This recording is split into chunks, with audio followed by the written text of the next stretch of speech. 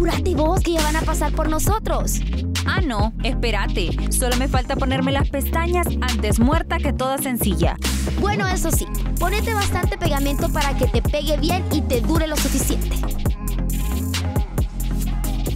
El uso de pestañas postizas es una tendencia que lleva años y no pasa de moda.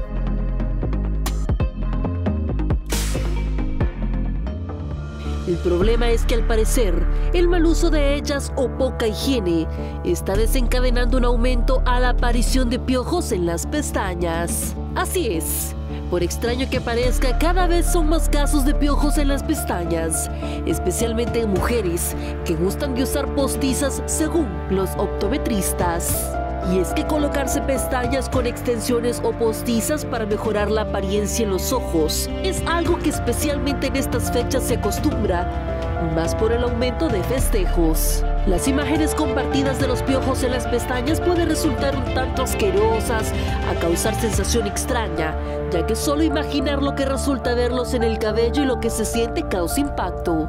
Los especialistas determinan que parte de su desarrollo se deriva en la mala higiene, no limpiarlas adecuadamente, utilizarlas y después utilizar productos de maquillaje, estar en lugares donde hay suciedad alrededor. Asimismo es bueno dejar respirar las naturales de vez en cuando. Cada persona es distinta, por lo que debe de haber a quienes no les ha sucedido nada similar y otras a las que desde la primera ocasión causa reacción alguna, en especial el tipo de pegamento el cual nunca debe tocar la piel. Recuerda siempre estar alerta ante cualquiera de los síntomas, puesto que la infección provocada por estos minúsculos animales se pueden presentar en inflamación, comezón o enrojecimiento. Los especialistas recomiendan lavar regularmente este artículo de belleza con aceite de árbol, el cual tiene propiedades antibacterianas. También es importante dejar de utilizarlas por un tiempo para que no se acumule el sebo en los párpados. Dale descanso a tu ojo en alguna temporada.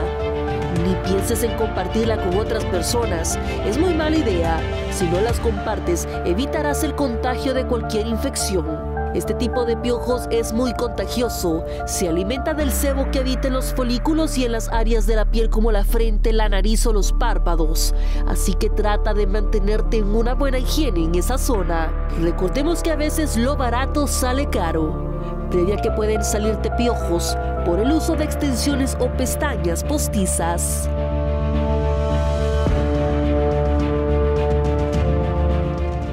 Gustavo Cortés en la edición.